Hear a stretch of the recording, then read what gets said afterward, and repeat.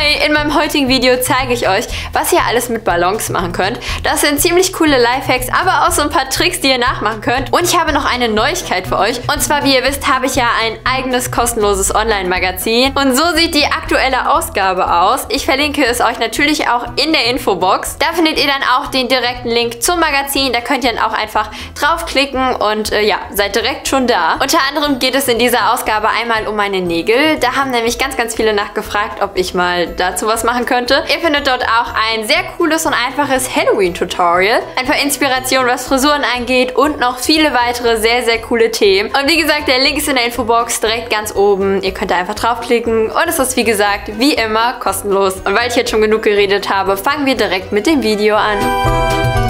Wir starten mit einem sehr coolen Trick, den definitiv jeder nachmachen kann. Das Einzige, was ihr dafür tun müsst, ist euch einen Ballon zu schnappen. Den müsst ihr dann aufpusten und dann müsst ihr ihn elektrisieren. Also einfach an den Hahn reiben und dann könnt ihr euren Wasserhahn aufdrehen und den Ballon gegen den Wasserstrahl halten. Und dann seht ihr ja gerade selbst, was dann passiert. Das ist auf jeden Fall sehr cool und äh, ja, ist auf jeden Fall ganz interessant, sowas mal selber nachzumachen.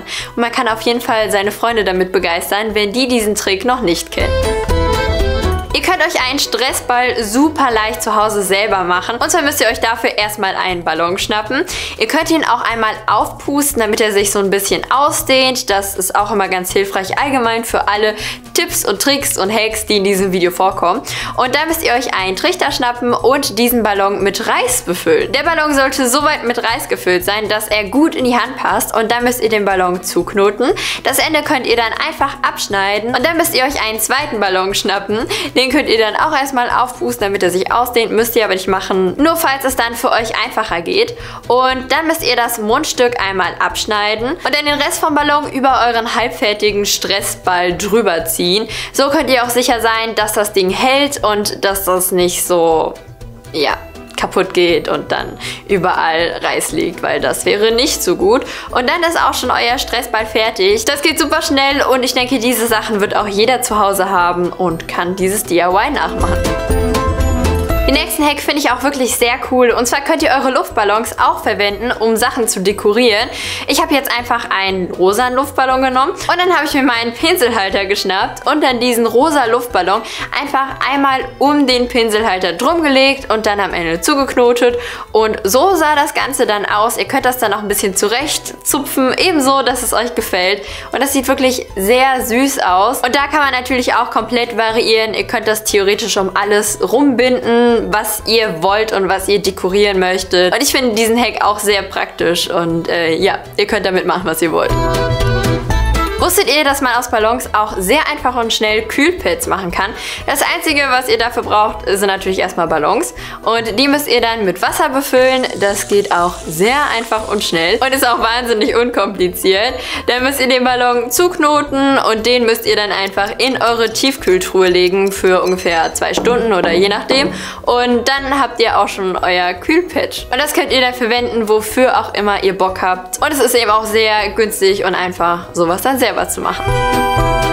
Dieses DIY musste unbedingt in dieses Video, weil das einfach eine der coolsten Sachen ist, die es gibt. Und zwar braucht ihr dafür erstmal zwei aufgeblasene Luftballons und ihr braucht Schokolade. Die müsst ihr dann einmal schmelzen und danach in eine kleine Schüssel tun. Dann könnt ihr die Ballons in diese Schüssel tunken, einfach so leicht mit dem oberen Teil und danach auf einen Teller legen. Das Ganze sieht dann so aus, wie ihr es auch schon gerade in den Einblendungen seht. Und das stellt ihr dann in den Kühlschrank, lasst das Ganze aushärten und dann könnt ihr die Luftballons platzen lassen und habt dann so ganz coole Schokoschalen.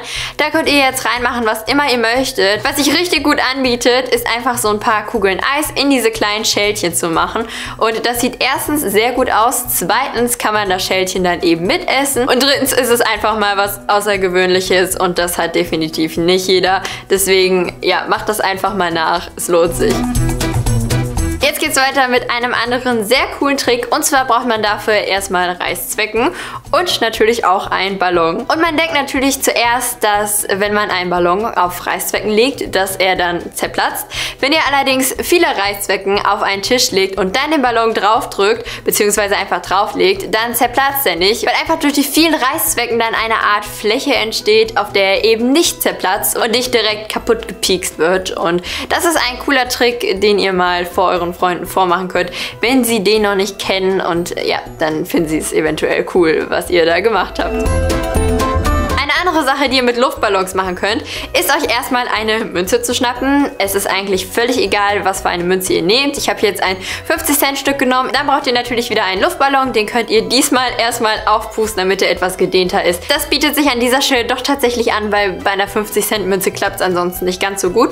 Und die müsst ihr dann einfach in den Luftballon reinschieben und dann den Ballon noch einmal aufpusten.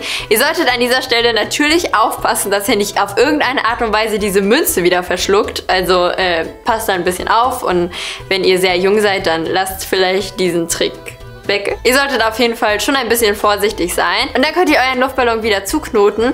Und dann müsst ihr einfach den Luftballon so schnell drehen bzw. schütteln. Und dann fängt die Münze an, sich in den Ballon ganz, ganz schnell im Kreis zu drehen. Und das sieht ganz cool aus. Und es macht auf jeden Fall auch Spaß, diese Münze zum Drehen zu bringen. Vergesst auf jeden Fall nicht, bei meinem Magazin vorbeizuschauen. Wie gesagt, der Link ist direkt oben in der Infobox. Und ihr solltet auf jeden Fall bei den beiden Videos hier vorbeischauen. Und zwar habe ich hier einmal einen riesigen DM-Haul. Und hier drunter findet ihr ein Video zum Thema Zaubertricks. Hier könnt ihr mich abonnieren und hier sind meine Social Media Seiten. Und ich wünsche euch dann noch einen sehr, sehr schönen Tag. Bis zu meinem nächsten Video. Tschüss!